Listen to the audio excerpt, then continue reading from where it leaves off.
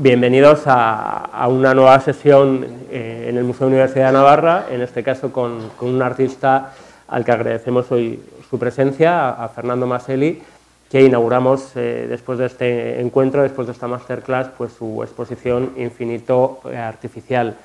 un artista, Fernando, un, fotógrafo nacido en, Buenos Aires hace ya un tiempo, vamos a, a, decirlo, hace, hace unos días, pero que realmente, aunque él es nacido en, Buenos Aires, en Argentina, lleva ya 15 años eh, viviendo y, trabajando en, Madrid. Él es un fotógrafo que se formó en artes visuales en, Argentina y que vino eh, a, España, eh, tanteó Barcelona, pero luego posteriormente se quedó en Madrid, a formarse y a trabajar como, como fotógrafo, para lo cual estuvo trabajando durante unos años como, bueno, y todavía sigue trabajando en ello, como fotógrafo, digamos, eh, comercial, trabajando eh, la fotografía de, publicidad, que compaginaba ese trabajo de, fotografía de publicidad, eh, le permitía experimentar en la fotografía artística, que es lo que él realmente disfrutaba. En este periodo, en estos primeros años en Madrid, estuvo también formándose, estuvo trabajando en los estudios de, varios fotógrafos, lo que le permitió aprender y reconocer diversos tipos de, de técnicas y, de trabajo y estuvo colaborando también con la revista eh, Madrid. Eh, realmente agradecemos a, Fernando por su presencia hoy y la, exposición que yo creo que, luego subiremos que, a todos os, va a gustar, pero si os parece ya vamos a pasar directamente porque lo interesante es que, hable él. Y a mí Fernando pues sí que me, apetecía que igual nos contases eh, primero ese acercamiento que tienes a la fotografía, cómo llegas a, a, trabajar en, ella y, ese interés que, muestras por, este arte. Bueno, pues muchas gracias. Gracias Ignacio por la presentación y bueno, gracias por venir y a la gente del museo por, esta oportunidad. Bueno, yo como, como has dicho, yo hice artes visuales. Nací en Buenos Aires, pero me crié en Mar del Plata. Ahí fui a la Escuela de Artes Visuales y me especialicé en fotografía. Cuando terminé, bueno, Mar del Plata era más bien un pueblo, entonces me fui a Buenos Aires de vuelta y ahí empecé a trabajar en, prensa y difusión de bandas de rock. Siempre la movida musical en Buenos Aires es muy, muy potente y bueno, yo me pasaba todos los fines de semana de festival en festival haciendo fotos y reportajes hasta que nos vino la, crisis del corralito ahí en Buenos Aires. Y bueno, tenía 23 años, ganas de aventura y, seguir con mi carrera y emigré para, para Madrid. En, bueno, en Madrid tanteé un poquito Barcelona. Uy, ¿qué ha pasado? Ah, ¿Se ha ido la pantalla? Vale. Bueno, pues nada. y bueno, entonces ahí en, en Madrid empecé a trabajar de asistente de fotógrafos.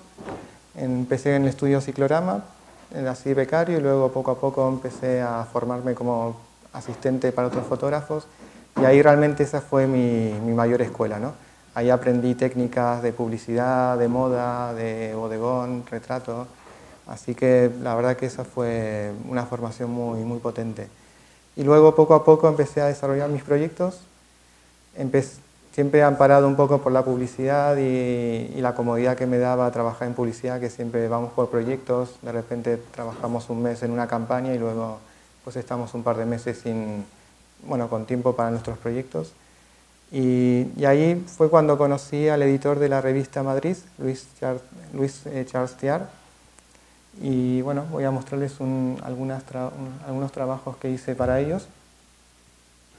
Porque en, este caso, Fernando, me parece que también hay como una diferencia entre ese, esa fotografía de publicidad que haces, que es una fotografía más, más comercial, con la fotografía artística, que es eh, ya tu, tu, propia creatividad, tu propia creación y, tus propios intereses, ¿no?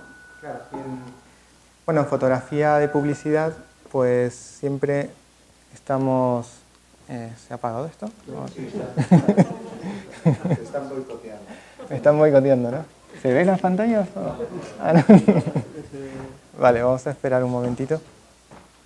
Bueno, si te parece, mientras... Eh, mientras eh, sigo explicando... Bueno, Sí, te iba a decir que mientras se soluciona el, problema, estamos hablando de, tu acercamiento a la, fotografía, pero en realidad en Argentina eh, tu primera relación con el arte vino a través del dibujo, no vino a través de la fotografía, ¿no? que luego lo podemos ver muy relacionado con las fotografías, la técnica de, impresión sobre papel que, vamos a ver en tu exposición. Yo toda la adolescencia fui a un taller de dibujo y pintura con una artista gráfica de, de ahí de Mar del Plata, y me especializaba un poquito en el grafito, ¿no? en la técnica de grafito sobre papel y hacía mucho desnudo, mucho, bueno, el interés de esa época de adolescente.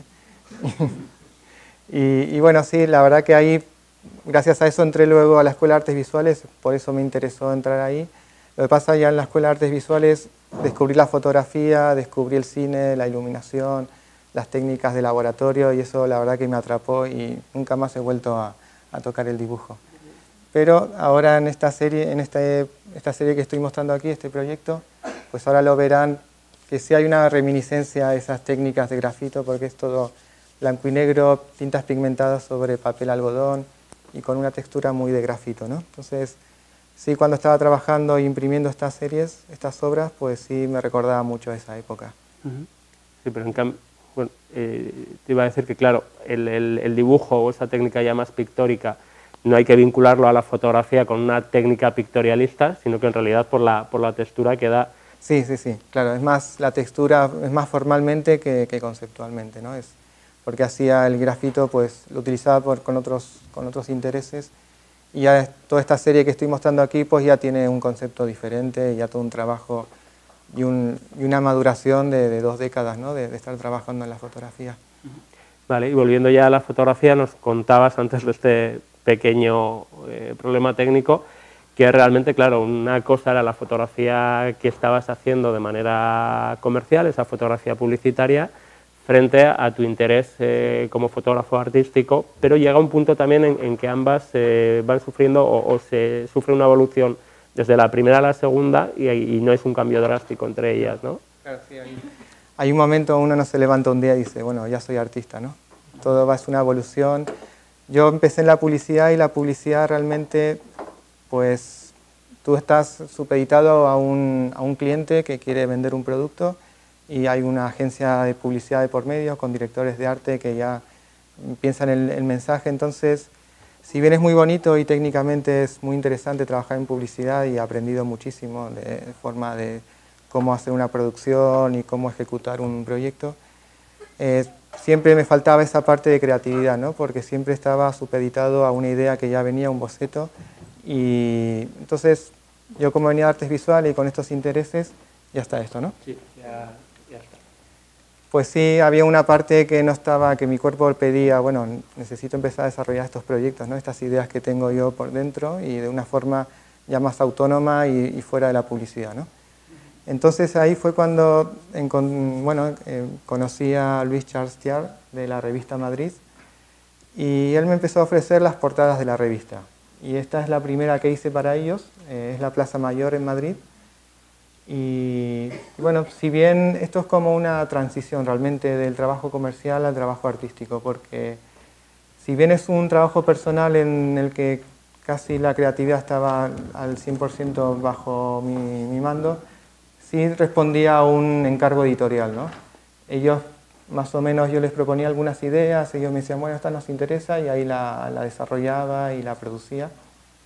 Entonces fui haciendo varias series, fue desde el 2008 al 2012, hice todos estos trabajos sobre temática de Madrid. ¿no? La revista era, estaba especializada en la ciudad de Madrid, entonces fui haciendo las, las problemáticas que veía yo con mis ojos de foráneo que recién llegaba a Madrid y en, concreto, bueno, la primera fue la Plaza Mayor, esta fue un, trabajo un poco más lúdico sobre eh, cómo, cómo interactuaba la gente en un, en un, espacio público.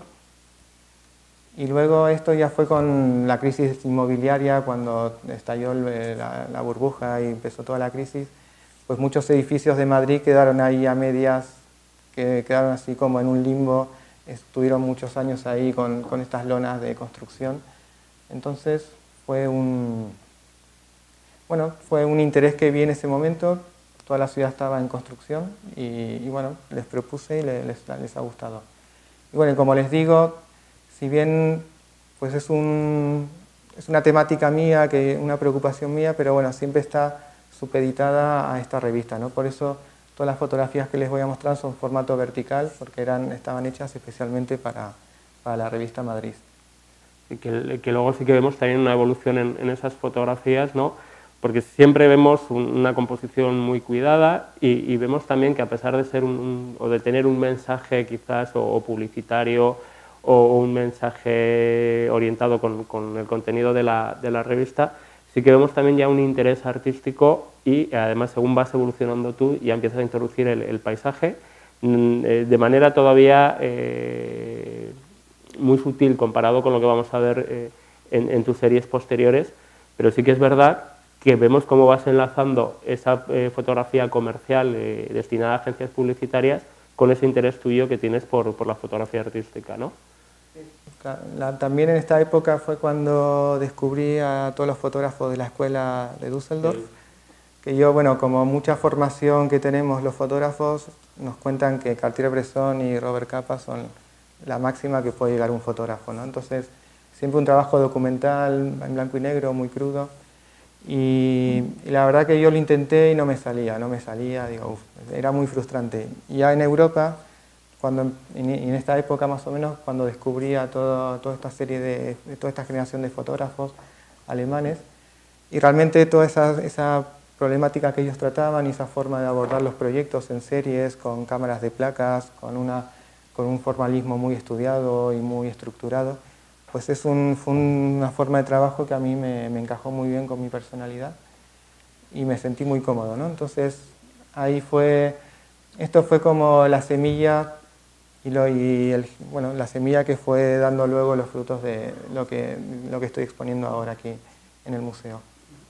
en, estas obras sí que vemos eh, esa influencia eh, quizás de la escuela de, de Düsseldorf, que ahí eh, sí que te te gustaban especialmente Andrea Gursky y Axel Hutte, sobre todo Axel Hutte, que, vemos ya que quizás introduce uno de los temas eh, primordiales en, tu estética, que es el paisaje, ¿no? Claro, totalmente. Y también, bueno, y Andreas Gursky por el montaje, el montaje fotográfico. Él era, bueno, es un fotógrafo que manipula mucho también sus fotografías para crear pues unos, unas panorámicas casi imposibles, ¿no? Y eso también pues me influyó mucho en esta época porque muchas de estas fotografías pues también tienen algún tipo de manipulación. ¿no? Y aquí también fui probando las técnicas que fui luego desarrollando en otras, en otras series. Si, veo el, si, sigues pasando, vemos las fotografías que tienes de, de, vistas aéreas que suponen ya también, claro, ya son esos primeros paisajes de, naturaleza, pero claro, con una estética totalmente diferente a lo, a lo que vas a hacer después. Eh, y ahí sí que entra también en juego la composición de la, de la imagen ¿no? a través de una fotografía compuesta en realidad eh, por, eh, por, casi 50 piezas diferentes. Sí, está en concreto, pues eh, cuando les propuse a la revista este, este, este, trabajo, bueno, era cuando empezaba también el tema de Google Earth y, y, empezamos a ver las fotografías satelitales y a mí me interesaba mucho explorar ese, esa línea de trabajo, ¿no? Entonces les propuse hacer unas vistas aéreas de los alrededores de Madrid, de cómo el hombre está interviniendo en el paisaje y lo está pues degradando y, bueno, también pues, dejando su impronta en el paisaje a una escala ya pues macro. ¿no? Entonces, pero claro, desde un helicóptero, alquilamos un helicóptero, pero desde, desde la altura que permitía el helicóptero, pues no tenía esas panorámicas que yo quería tan, tan grandes, porque eran casi vistas satelitales. Entonces yo me propuse, hablaba con el piloto y trabajábamos pues una zona y era una hora de vuelo por toda una zona y iba haciendo como un relevamiento topográfico como se hacía antes de muchas fotos que luego se van uniendo para crear una, panorámica más grande. Entonces, pues en este proyecto recuperé estas técnicas que se usaban antiguamente de topografía para crear todas estas, estas grandes panorámicas. Es, es igual curioso porque sí que es verdad que la escuela de Düsseldorf puede estar aquí presente, pero otros de tus grandes referentes, como puede ser la, en, pintura el romanticismo inglés y alemán, sobre todo con, con Gaspar Friedrich, o la escuela americana del río Hudson, claro, ya son totalmente diferentes a, a, lo que estamos viendo, que quizás entronca más con, con tu siguiente serie, que es eh, Hierofanías, ¿no? Eh, bueno, y una vez Ya cuando terminé estos, estos proyectos con Madrid, pues en el 2012 cerró la revista, editamos un libro, hicimos una gran exposición con todos estos trabajos. Y bueno, y ahí como que cerré un capítulo y ya pues la semilla ya había crecido y pues quería desarrollar ya un, pues unos trabajos ya con una clara perspectiva artística. ¿no? Y bueno, poco a poco fui documentándome, empecé con muchos proyectos que no llegaron a nada porque al final pues me faltaba pues algún mensaje o formalmente no, no me funcionaban. Y bueno, cuando empecé a investigar, pues me descubrí que, que, en el arte contemporáneo pues necesitamos un mensaje que transmitir, ¿no? No, es, no solo basta una foto bonita, una foto bien compuesta, sino que esa foto tiene que estar supeditada a un mensaje que queremos transmitir y, una idea, ¿no? Y, que esa foto pues sea un buen respaldo para, para, esa idea. Y ahí fue cuando investigando y trabajando y, leyendo mucho y documentándome sobre el paisaje, pues fui descubriendo ciertas ideas que me interesaban y en concreto pues esta serie que se llama Hierofanías. Eh, esta, la palabra hierofanías está acuñada por, por, un filósofo rumano que se llama Mircea Eliade, que con este término él definía pues elementos del cosmos habitual, una piedra, un árbol, un bosque, pues que alguna cultura considera que es sagrado, ¿no? que, hay una manifestación de, un, acto, de un acto místico, de un espíritu, esto está muy relacionado con el chamanismo, ¿no? pero al final todas las religiones en algún momento tienen algunas hierofanías, pueden ser catedrales, pueden ser altares, entonces yo documentándome en este concepto, pues descubrí que en la, península, en la península ibérica había muchos de estos sitios, que algunas culturas en el pasado habían considerado que ahí había una manifestación de algún, de algún acto místico. ¿no?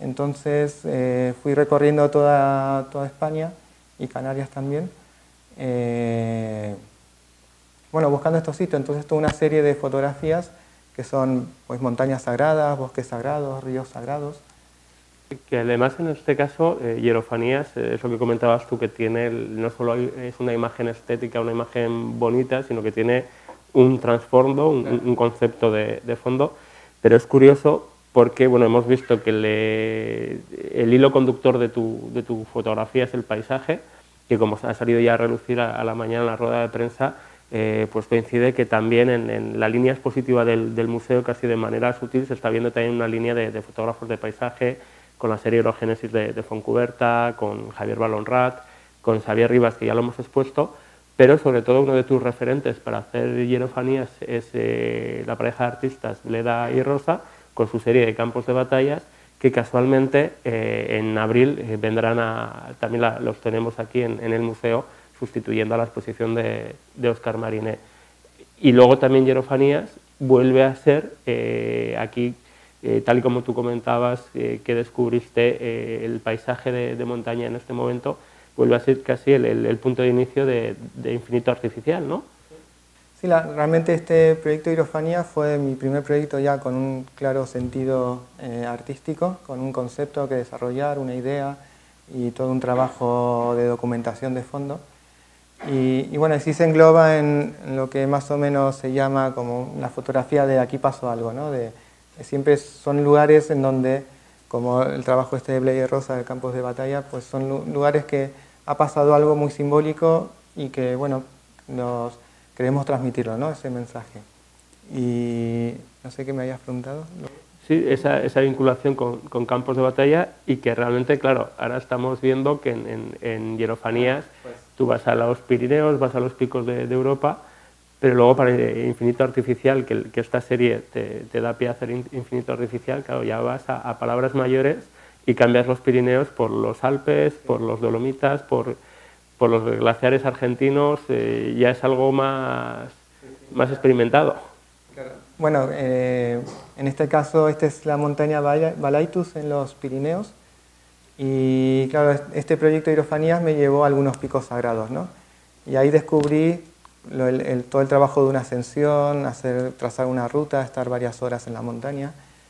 Si bien estos son picos que no son muy altos, como luego volví a retomar en, Infinito Artificial, pero ya con picos mucho más altos, Entonces, pero bueno, ahí, aquí ya con estos picos me picó la curiosidad de la montaña, de todo este trabajo físico, de llegar ahí, de todo lo que vino después.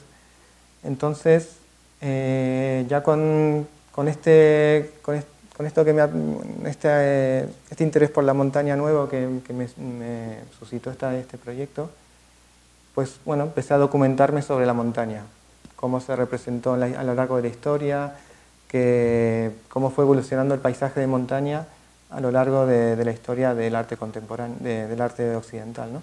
Y ahí fue cuando descubrí lo sublime, que es un poco el, hilo central del proyecto Infinito Artificial. Eh, sí, en, Infinito Artificial yo creo que ahí vemos eh, varias vías, pero sobre todo vemos tu investigación sobre este concepto, que sí que surge en el siglo I con, con ese tratado de lo sublime de Longinos, pero que realmente lo aplica más a, la oratoria y no a, la estética.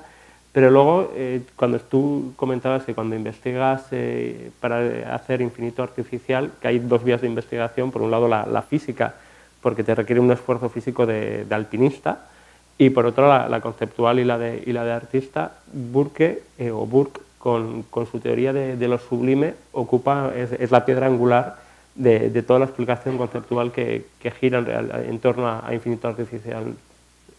Bueno, yo con las serie Hierofanías ahí, ahí entré en cuenta de la importancia de, de, esto del concepto, lo que le estoy contando, la idea de, contar algo con lo que estás haciendo, ¿no? No, no vale, no vale una foto bonita, siempre esa foto tiene que está acompañada de esta idea. Entonces, al investigar sobre el paisaje de montaña y descubrir lo, sublime, pues me pareció un concepto muy interesante porque eh, pues se habla de lo sublime como un, sentimiento de belleza, porque es una categoría estética, pero ligado al miedo, al terror. Y bueno, Burke, eh, Burke, después de toda la Edad Media que no se toca casi este tema de lo sublime, él recupera ese concepto y escribe un libro que se llama indagaciones filosóficas acerca de nuestras ideas sobre lo sublime y lo bello, que lo escribe en 1757 y marca un poco el preludio a lo que vendrá un par de décadas después, que será el romanticismo. Y en este libro, pues él hace una distinción entre lo bello y lo sublime. Es, el primer, es la primera persona que hace esta distinción y entonces explica que bueno, el paisaje bello y pintoresco pues sería un campo con flores, un día de verano, un atardecer en la playa, así paisajes bonitos que te invitan a estar, pasar un rato agradable. Y el paisaje sublime, pues ya sería pues la montaña, un glaciar, un volcán en erupción, las tempestades, una tormenta en el océano. Son paisajes que realmente son bellos, ¿no? Son, se ve toda la, la fuerza de la naturaleza, pero también son terribles, ¿no? uno se siente pequeño, uno si está metido en el huracán, pues el terror te va a embargar por completo y lo único que vas a hacer es querer salir corriendo, ¿no? Entonces, ellos también hablan de... Perdón. Lo que hace Burke es sobre todo asociar esa idea de lo sublime con conceptos de, cierta nostalgia, ¿no? De, terror, de miedo, de, enfrentamiento a la, soledad. Él habla, bueno, que él empieza a desvelar qué situaciones en la naturaleza y qué situaciones en el, humano pues dan esa sensación de lo sublime, ¿no? Y, bueno, y son pues la soledad, la melancolía, la, pues la magnificencia de la naturaleza, sentirse pequeño ante las fuerzas de la naturaleza. Pero bueno, él y más, más concretamente luego Kant, pues eh, siempre hablan de, de, un poquito de sentimiento de seguridad, ¿no? Porque es lo que les decía, si, si estás en medio del huracán, pues el terror te va a embargar por completo y lo único que vas a hacer es eh, salir corriendo, ¿no? Pero lo sublime tiene un placer estético, ¿no? Entonces necesitas estar como a una cierta distancia, en algún cierto punto de seguridad para, que, para poder sentir esa belleza. Entonces Kant hace como una diferencia y hace tres categorías, que es eh, lo sublime terrorífico, lo sublime magnífico y lo sublime noble, que son como tres, serían como tres niveles de cuánto terror sientes al ver eso, esa manifestación de, la naturaleza. Sí, porque además eh, Kant, que es quien retoma luego posteriormente en el mismo siglo XVIII esas eh, teorías de, lo sublime, él habla sobre todo, eh, Burke eh, enlazaba lo sublime con ideas de, miedo y, de desolación frente a la naturaleza, pero Kant ya habla de, sublime terrorífico. Y además diferencia muy bien entre, entre belleza y, sublime, diciendo que, lo sublime es lo, que conmueve y realmente la, belleza o lo bello es lo, es lo que encanta, dando como una jerarquía eh, de diferencia, que es lo que comentabas tú, un paisaje puede ser bonito, pero si te conmueve realmente el, alma, eh, es, sublime. Sublime es todo aquello que no se puede explicar desde la razón y la belleza es algo que tiene una comprensión lógica desde, desde la razón, desde el punto de vista de, de Kant. totalmente. Y bueno, y hacen esta distinción que es muy interesante y realmente pues ellos consideran el paisaje sublime pues todas estas, estas manifestaciones de la naturaleza que te hacen sentir pequeño, que te hacen sentir nostalgia, que, que, te hacen sentir un poco de miedo, soledad. Son todos sentimientos tan, que están muy ligados al, al, sentimiento de lo sublime. ¿no? Pero siempre tenemos que acordarnos que tiene que estar unido a un sentimiento de belleza, ¿no? de, de estar en un bosque, estar en una montaña, estar en el océano. ¿no? que tiene que haber algo de belleza mezclada con un poquito de, miedo o terror. ¿no? En esta parte vamos eh, ya a, la parte más física del, trabajo de fotógrafo. Tú sí que has experimentado también lo sublime terrorífico en, tus propias campañas de, eh, como fotógrafo yendo a, la montaña, ¿no? Porque claro, eh, estamos hablando, no es lo mismo, es lo que comentábamos antes, no es lo mismo subir a los Pirineos que, escalar los Alpes. Entonces, claro, eso también requirió una, una preparación física por tu parte ¿no? para, para poder afrontar ese trabajo. Yo, bueno, cuando me topé con este concepto de lo sublime, bueno, lo leía, lo entendía, pero realmente no comprendía cómo la belleza podría estar ligada al miedo o al terror, ¿no? Entonces me propuse, digo, bueno, pues vamos a experimentarlo. Y ahí fue cuando, bueno, yo soy hombre de ciudad, nunca había estudiado la montaña más que estos, pequeños intentos que hice en, en, el, en el, proyecto anterior, Irofanía.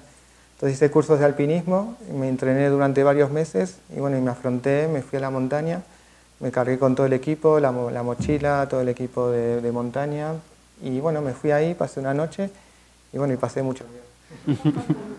que experimentaste en, propia piel lo que es lo, lo sublime terrorífico. Totalmente, sí. Y, bueno, y, y, la verdad que es, hay luchas contra ti, bueno, eh, hay un momento en que pues sientes todas estas contradicciones, ¿no? Porque de repente ves la montaña súper bonita, a, la a la vez te sientes solo y sabes que viene la noche y que vas a pasar frío y que quizás pues pueda pasar algo, ¿no? Que un, animal o una piedra que un derrumbe de la montaña, entonces pues estás ahí con en, un, en, un, estado así de, tensión, medio belleza, medio terror y la verdad que ahí fue cuando realmente entendí a qué se referían estos autores, ¿no? terrorífico. Me parece que a, nosotros que somos de ciudad nos costará más eh, experimentarlo, aunque sí que tus fotos no, nos da pie a ello, ahora estamos viendo algunas de las imágenes, pero claro, tus fotografías en realidad no están reflejando la, la realidad, sino que son unos, eh, unas fotografías ficticias o, creadas por ti, ¿no? ¿Cómo, cómo sería ese, ese, proceso que además te acerca, eh, salvando las distancias, al, al trabajo del pintor que también salía a la naturaleza, hacía sus bocetos y luego volvía al estudio a componer la, obra. Claro, aquí pues surge un problema en la representación de lo sublime en una obra de arte. Porque claro, lo sublime, una, una pintura bella o un paisaje bello, pues casi que lo puedes ver, ¿no? En tu casa, pues algo bonito, ¿no? Pero lo sublime va ligado a esto de sentirse pequeño, a otros sentimientos que hay que trasladarlo en la obra. ¿no? Entonces, eh, la, en la época del romanticismo se toparon con este problema, ¿no? de cómo representar lo sublime en una obra de arte que va a estar en dos dimensiones, colgada en una pared y que vas a ver en un salón de una casa o en un museo.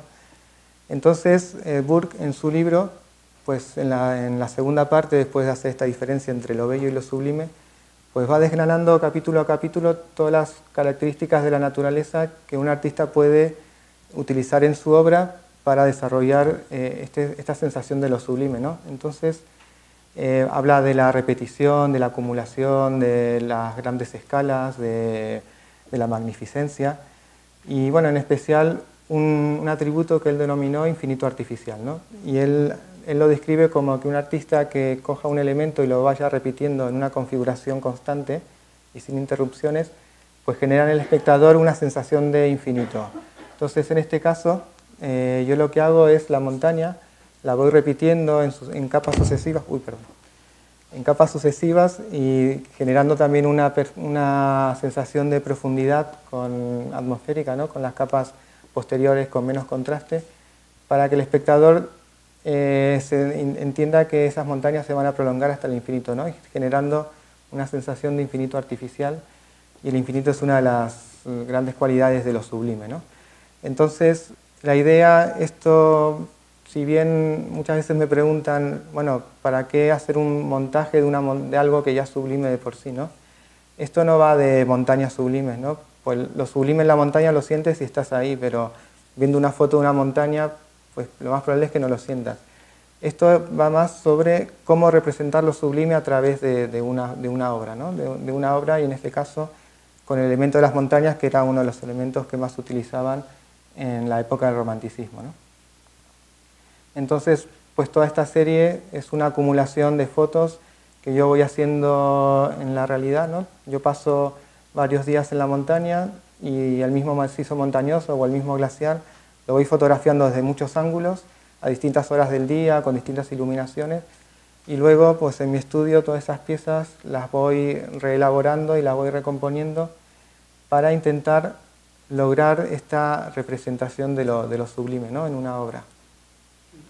Así que en realidad lo que nos estás eh, tú plasmando es tu percepción de lo sublime frente a esas montañas, pero ante un paisaje ficticio. Es un paisaje que tú creas digitalmente, ¿no? mediante la, la repetición de diversos elementos, que es lo que Burke eh, define como infinito artificial, el repetir y repetir los, eh, el mismo elemento, aunque en este caso tú sí que fotografías o tomas diversas vistas de la misma cordillera para formar una única foto, en, este caso sin mezclar eh, cordilleras diferentes. Sí, también uno de los objetivos de este proyecto era, que, generar una, una cierta ambigüedad en el espectador porque hasta que no lo digo, pues la gente entiende que, quizás estos paisajes existen. Entonces me gusta, me gusta crear esa, esa ambigüedad, ¿no? De decir, bueno, esto, esto me resulta raro porque son composiciones como muy perfectas y, con tantas montañas que esos son paisajes que en la realidad no se dan, ¿no?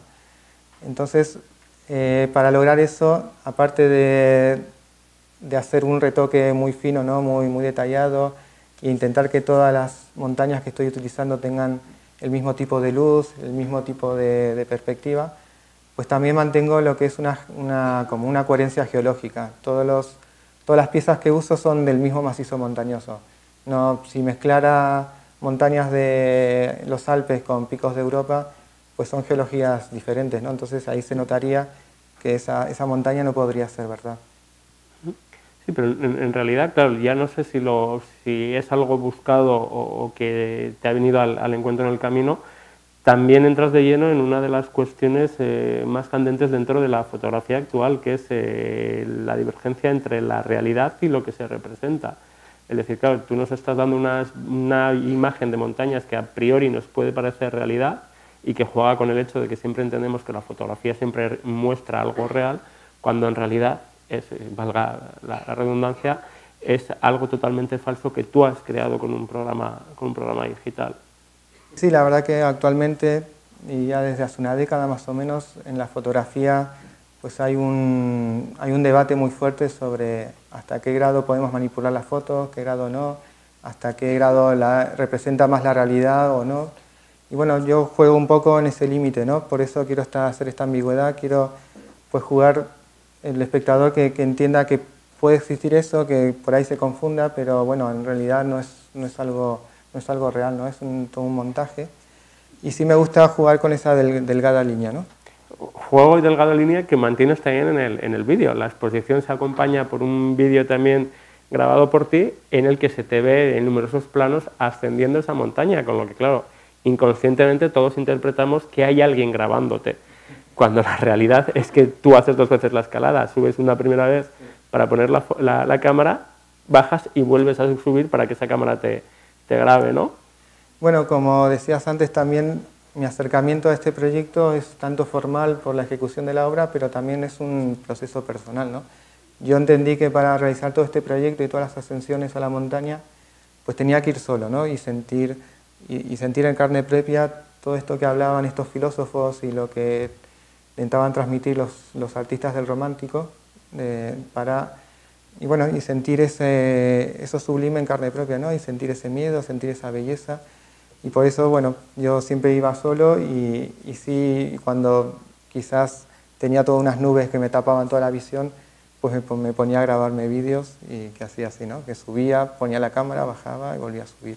Entiendo que es un, ejercicio de introspección muy fuerte que, que te encuentras tú solo eh, frente a la inmensidad de la naturaleza, que además es otro de los mensajes que nos transmitían eh, esos pintores románticos, ¿no? Y con Friedrich a la cabeza, es decir, el, hombre piensa que domina la naturaleza y en realidad eh, se encuentra a merced de, ella. Sí, sí, la, la verdad que bueno, fue bueno, una experiencia realmente muy enriquecedora porque al final uno se levanta pues 3, 4, 5 de la mañana porque tienes que llegar a una hora decente a la, cima para poder hacer esas fotos. Y bueno, todo ese, todo ese acercamiento, todo ese trabajo de 5 o 6 horas u 8 ascendiendo con todo el equipo, pues es también todo un trabajo pues muy personal y te, te mides contigo mismo constantemente y de repente pues el día está soleado y es un, día, un bonito día en la montaña, pues va, sale todo bien, ¿no? Pero de repente la montaña es muy impredecible, ¿no? Y de repente hay una, tormenta, te quedas ahí, dices, ¿qué hago aquí? ¿Cómo, cómo salgo de esta? Y bueno, son, y hay un momento en que luchas contigo mismo, ¿no? ¿Qué hago? Si bajo, corro peligro, si sigo también, si me quedo aquí también porque me agarra la tormenta. Entonces, todos esos, todos esos sentimientos, pues también fue un trabajo muy, bueno, forma parte de, todo este proyecto. ¿no? Cierto que, como decíamos, experimentas en propia piel lo, sublime terrorífico. Ahí quizás en esa imagen se ve muy bien cómo tú vas, eh, mediante capas en, la fotografía, vas creando de manera digital esa imagen. Pero son imágenes en las que la figura humana no aparece, pero en cambio está muy presente, porque claro, eh, si quieres transmitir lo sublime, eh, tiene que ser el espectador quien, quien haga que cobre vida esa, esa imagen, con lo que aunque en realidad el, ser humano no aparece, realmente la fotografía está pensada eh, para que cobre vida cuando el espectador está delante de ella, ¿no? Sí, realmente eh, una de las cualidades de, lo sublime que, que, decía Burke pues es la soledad, ¿no? Entonces yo interpretaba que si ponías personas aquí, pues rompía un poquito ese, ese halo de soledad y de, y de tranquilidad y de misterio que daban las fotos. Entonces bueno, la presencia humana está en el espectador, ¿no? Está en cómo transmito todas esas sensaciones en el espectador que está mirando esta obra. Y. Como está esta serie la vamos a ver ya en, sala, sí que es verdad que este trabajo sobre lo que es el, concepto de lo sublime lo has seguido manteniendo en tus siguientes series, en Anunciación, en Tempestades. Eh, vemos cómo has evolucionado desde esas primeras imágenes en, en el que el paisaje era más construido a realmente ahora eh, coger unos fragmentos, aquí sí que vemos paisajes de, montañas irreales, pero en el que se ve claramente un paisaje. En Anunciación y Tempestades ya se ve eh, casi fragmentos, repetición y, casi una abstracción de, ese propio paisaje, ¿no? Pues sí, luego, bueno, yo investigando eh, todo esto de la pintura sublime, del romanticismo, pues llegué me di cuenta que pues, había como tres temas fundamentales ¿no? en, la, pintura romántica. Pues principalmente era la montaña, pero también estaban los cielos y las tempestades en el océano. ¿no? Entonces, después de desarrollar este proyecto de Infinito Artificial... En el que, perdona, vemos cómo se va construyendo la, la imagen a través de...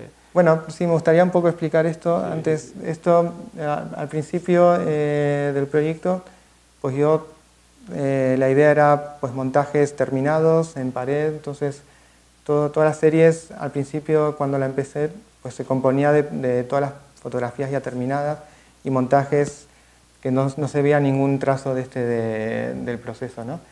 Pero de cara ya a hacer el catálogo de la exposición, pues sentí, y bueno, que ya eh, tiene identidad propia, ¿no? es como un fotolibro.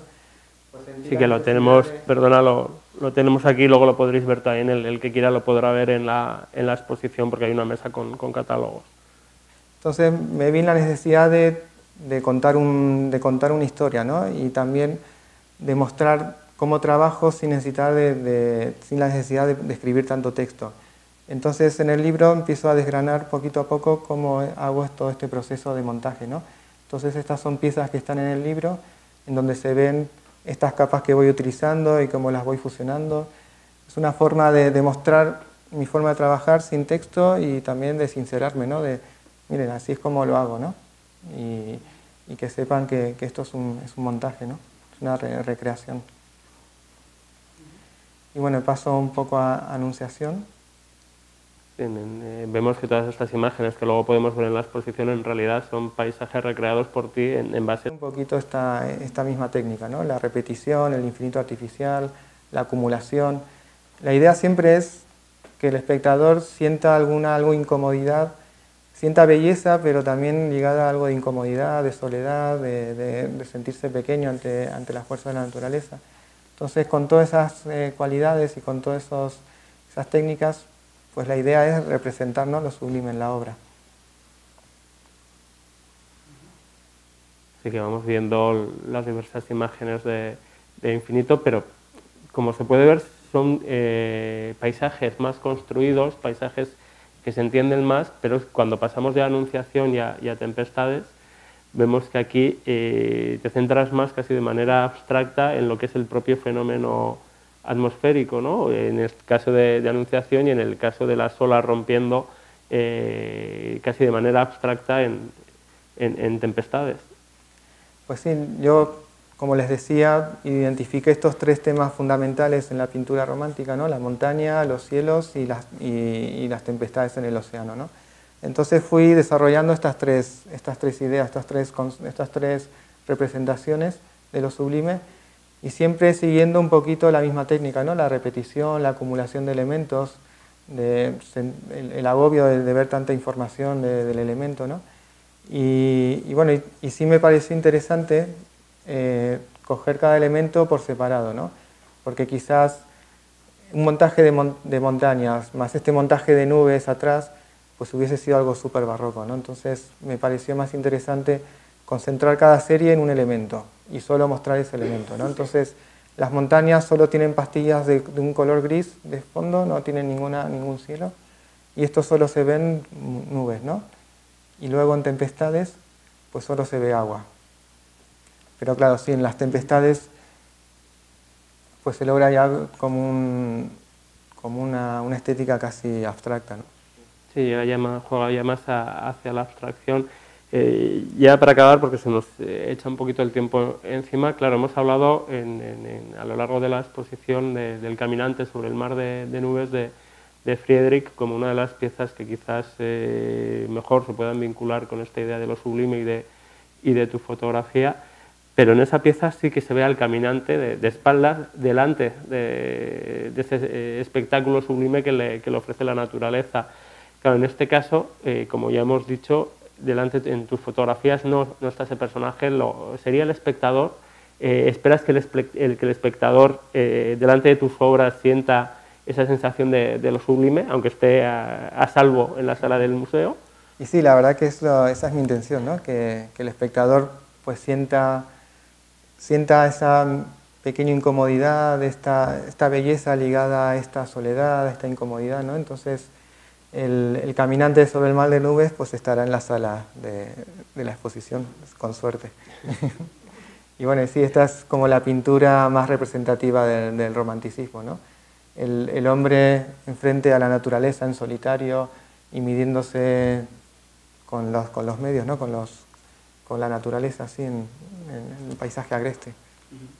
ahora, ves la graduación de, la graduación de colores y de definición en, la imagen según se va alejando al fondo y, claramente ves también tu, tu, fotografía. La clara referencia en todo este trabajo de, montañas del infinito artificial pues es la pintura romántica. ¿sí? Caspar David Friedrich y William Turner son como las, los dos grandes pintores ¿no? del romanticismo y que han, y que han representado todas estas, todas estas técnicas y todas estas fuerzas de la naturaleza ¿no? en sus pinturas. Sí, porque quizás el, eh, comentabas hace tiempo que Carlos de Haes, el de Haes, el, pintor español, eh, que también eh, supone una influencia, sí que es verdad que él se dedica más quizás a hacer esos paisajes montañosos, digamos, bellos, que no a este espectáculo sublime que, que protagoniza la obra de, Friedrich. Sí, además y más, más concretamente en William Turner, que hace esas, esas tempestades en el océano, esos remolinos de viento, pues ahí es cuando la idea de, de, lo sublime es representar eso, esa parte de la naturaleza que es terrible, ¿no? que, que estás ahí al borde de, sentir terror, belleza, y, bueno, es, pues, es una experiencia que, que engrandece ¿no? por dentro, que, bueno, no sé, es una experiencia que te mides contigo mismo y, bueno, y sacas, saca fuerza ¿no? de ahí. Pues, eh, ahora lo veremos delante de, tu obra, se nos ha echado ya el, tiempo encima. Agradecerte, Fernando, el encuentro que has tenido con artistas, hoy con, los alumnos y con, el público en general. Y no sé si alguien de, público pues, quiere hacer alguna pregunta a Fernando.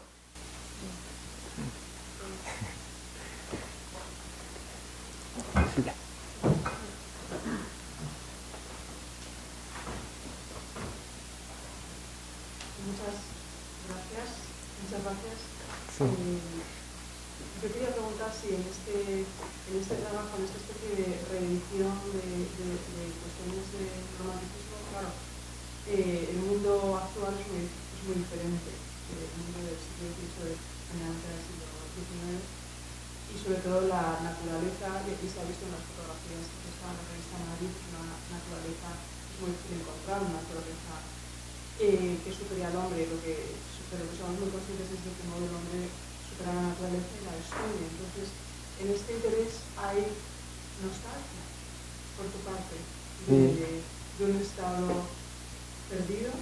¿Qué relación hay con planteamientos que, que tienen que ver con posturas ecológicas o con una preocupación por la naturaleza, si, si comparece Pues sí, sí, hay un poquito de nostalgia y tenemos que tener en cuenta que en esta época la montaña era la última frontera. Ahora hay pistas de esquí y hay carreteras que te suben hasta ahí. Pero en esta época irse, subir a un, hasta el monte más pequeño de los Pirineos, pues era toda una odisea, ¿no? Porque el pueblo más cercano estaba a 20 kilómetros, tenías que adentrarte en un valle donde no había nada, ni caminos, ni comida. Entonces ellos pues estaban, estaban frente a la, última, la última frontera que había de la civilización, ¿no? Ahora ya la montaña no es una última frontera, quizás tengamos que irnos a la Antártida para que sea una última frontera o, al espacio, no sé. Pero sí, sí tengo una, un poquito esa nostalgia de llegar a esa montaña, que me pasa muchas veces, que vas a una montaña y de repente pues hay 50 personas, ¿no? que vienen en un autobús, se bajan, están todos ahí y pierdes, bueno, la montaña es para todos y está perfecto que, que se haga, pero bueno, hay un momento en que se pierde un poquito esa soledad porque ya escuchas los ruidos, la gente hablando y esa meditación que te la da estar en solitario, ¿no? en un lugar agreste y que te ha, y te ha resultado muy difícil llegar ahí y sentirse que estás en el borde ¿no? de, de la civilización.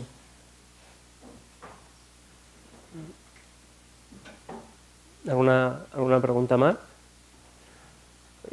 Yo me gustaría sí que comentarte una, una cosa breve porque no ha salido en, en, en la charla es que realmente todas tus fotografías están realizadas en, blanco y negro y además en formato grande, eh, buscando también el abstraer eh, esa posible conexión con, la imagen bella del paisaje y así orientarnos más hacia lo, hacia lo sublime, ¿no? Claro, sí. Yo cuando empecé este proyecto, como les explicaba recién, pues hay una delgada línea porque quizás llegaba a, una obra pues muy barroca, si ponía cielos o si ponía más montañas, menos, no sé. Bueno, había un... Yo veía que en mis montajes, pues de repente o me pasaba o me quedaba corto y el color, yo lo interpreté como que... Yo interpreto el color como de un paisaje bello, ¿no? Entonces, para remitirme a un paisaje sublime, entendí que el color no era, era contraproducente para eso. Entonces yo lo único que quería hacer es centrarme en la textura de la piedra, de la montaña, y trabajar con ese solo elemento, sin cielo, sin color, solo la, piedra y su textura, ¿no? para, para no, no, no, caer en este paisaje bello. ¿no? Sí. Si realmente había un momento de, de, mucho miedo de decir, ay madre, sí. ¿has tenido? Sí, sí, sí. En el, en, ahora estuve en Ecuador, en el Chimborazo, que estamos hablando de 6.300 metros de altura, y subiendo a esta cima, pues un momento que sí, fue un terror que, que te embarga por completo y, no sabes, bueno, es como que te paralizas, ¿no? Y entonces ahí, más allá de luchar contra los medios, que estás, pues estaba en medio de una tormenta de nieve, de noche, eran las 3 de la mañana y era toda una situación súper, bueno, horripilante, ¿no? Y, y de repente, pues, no, si te quedas ahí sin hacer nada, pues te quedas ahí para siempre, ¿no? Entonces tienes que vencer ese miedo interno Y bueno, en ese momento pues me concentré en la respiración, en los pasos y poco a poco pues salir de esa, de esa situación y no pensar en que estaba rodeado de hostilidad, ¿no? de, un medio súper hostil. ¿no? Y sí, y bueno, ahí es, bueno, eso es lo que pasa a un, montañero, ¿no? no solo alguien que está buscando lo sublime, cualquiera que va a la montaña y, se topa en una, una, tormenta de nieve, pues va a pasar esa, esa, esa sensación. ¿no? Y, y, bueno, es, y hay un momento en que te paralizas, ¿no? que te quedas así, ¿qué hago? ¿Qué, ¿Qué, hago aquí? ¿Qué hago? Y bueno, y ahí tienes que de alguna forma eh, vencer ese sentimiento y seguir, ¿no? Y seguir adelante. Ahora te hecho montañero, ¿no? Sí, me hice montañero, ya, ya no. y ahora voy a la montaña, y este proyecto lo terminé y muchas veces voy a la montaña solo por pasear, ¿no? Y por disfrutar. Y sí, no, la verdad es una experiencia muy bonita. Pero bueno, yo, el, el montañero profesional, su clímax es hacer la cima, ¿no? Yo la verdad que cuando voy a hacer fotos, pues ya si tengo la foto no tengo esa esa necesidad de hacer la cima. Entonces, bueno, ahí, ahí me, salvo un poco de algunas penurias, ¿no? De, decir, bueno, ya, ya hasta aquí llegué, ya la pasé bien, hice mi foto, ya sentí lo que tenía que sentir y bueno, a bajar, ¿no? Pero bueno, el, el montañero si no hace cima es que tiene que volver y hacerla, ¿no? En algún momento, porque como que se le queda ahí a mitad, ¿no? La montaña. Es algo que comentabas, que el, que el montañero no entendía, ¿no? Que, no llegas, que no llegases hasta el final sino que una vez que ya tenías las, las fotografías que querías eh, tomar en, en, ese ascenso, que tú ya estabas, ya, pues ya, ya, puedo bajar. En cambio, para la mentalidad del montañero es, eh, es que, hay que hay que hacer cima. Claro, claro, sí, sí me, to me, topaba en los refugios, muchas veces dormís en el refugio y ahí está todo lleno de montañeros, ¿no? Entonces cuentas un poquito y te, te miran así sorprendido. Pero has, pero has, llegado hasta aquí, dos días de ascensión, y no haces cima, digo, pues no, sino bueno, ya lo pasé bien y ya tengo lo que, lo que, lo que quería tener aquí. ¿no? Quizás además siempre las cimas son la parte más difícil de la montaña, ¿no? Y quizás hay siempre un momento en, una ascensión que, la diferencia entre la vida y la muerte es decir, bueno, hasta aquí llegué y me vuelvo, ¿no? Porque ya ahí pues quizás me quedo, ¿no? Entonces, pero bueno, el montañero es como el profesional, no se queda así. Pero ¿y cuándo vuelves o y, y cuándo lo vas a hacer? No, no pues nada. ya está. No sé si hay alguna pregunta más, eh, pues si no, no nos queda más que agradecer a Fernando el, su presencia hoy aquí en el encuentro e invitarles a todos pues subir ahora a la sala de, de la torre donde eh, vamos a poder ver en, en vivo estas imágenes de, de, Fernando y donde podrán ver si, si realmente experimentan la, lo sublime o, o, no. Muchas gracias, Fernando.